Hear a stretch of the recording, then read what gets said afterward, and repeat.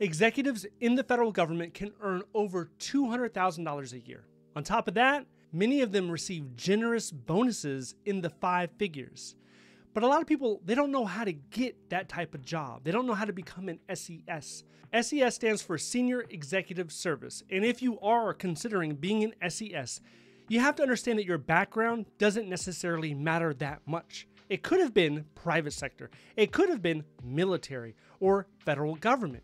What you did in the federal government, you can make impacts at different levels in different ways. However, the application process is completely different. You will be focusing on the five ECQs, and here they are. You have to type up your success stories to meet each of these ECQs from the last 10 years. For each of these ECQs, you should have two stories. So 5 times 2, that's 10. You should have 10 stories in total. Every story should be one page. So that's 10 pages. 10 pages to cover the ECQs. Now you have to understand there's a difference between leadership and management. With management, you're talking about organizing people, maintaining things like that. But with leadership, you're talking about innovation, you're talking about creativity.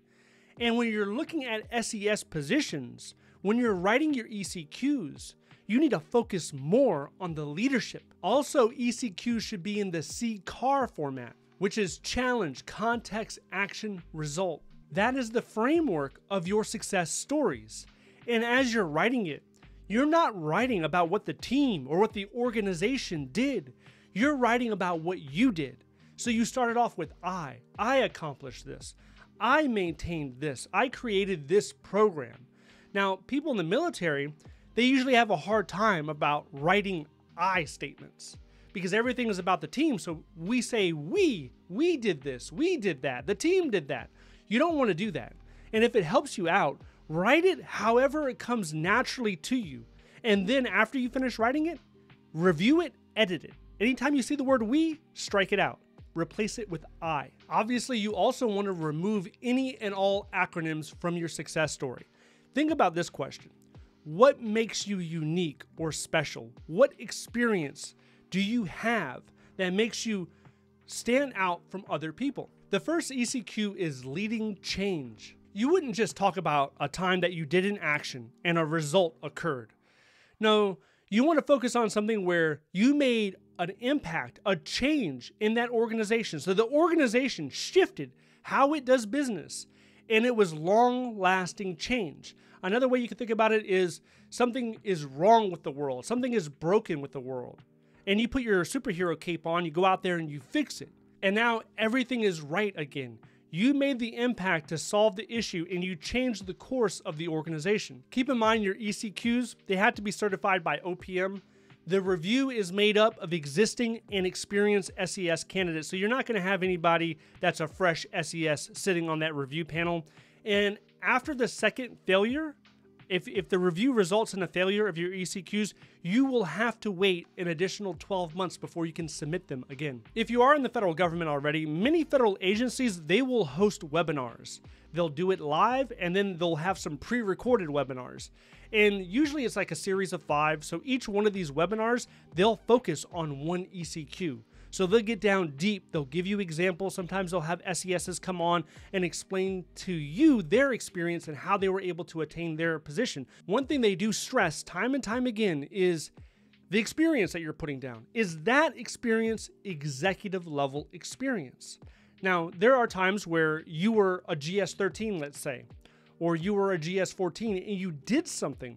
And just because you did it doesn't mean it's GS 13 experience you achieve something to the extent where it can be viewed as executive level experience because of the impact it actually made within that organization. Many people will actually start writing their ECQs long before they apply to be an SES. So you could be a GS12, GS13 and realize, hey, you know what? That's the goal that I want to pursue. I see myself in that position in the future. I want to aspire to that. And then once you start having those thoughts, go ahead and start writing your ECQs, have someone review it, preferably in SES. There are also some companies out there where they will review it and edit it for a fee. There was one SES I was speaking with, and that's exactly what he did. He paid a company because he viewed it as an investment. Now, Should you do that? That depends on your situation, right? Aside from ECQs, there are also professional technical qualifications, which are PTQs. These need to be addressed in your resume. As far as your resume length, I would keep that at five pages. Five pages or less, because you already have the 10 pages of ECQs.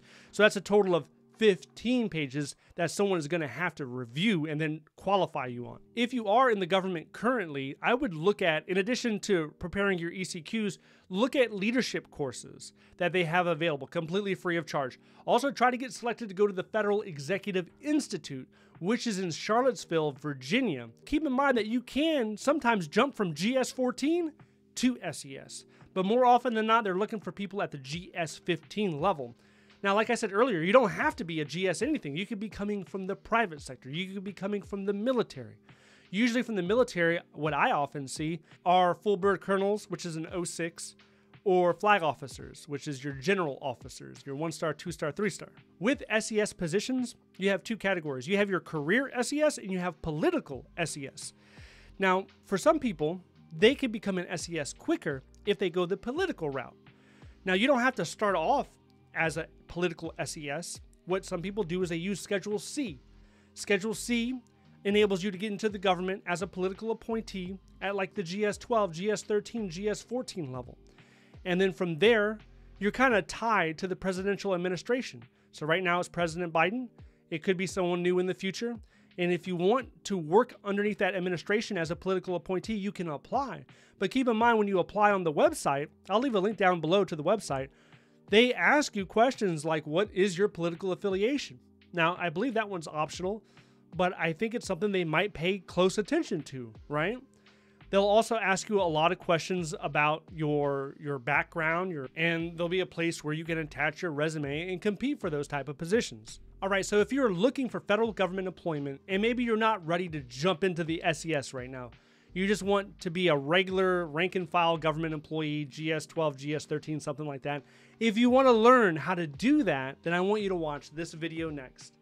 If you would like to see more videos like this, please click like and subscribe. Thank you so much for watching, and I'll see you in the next one.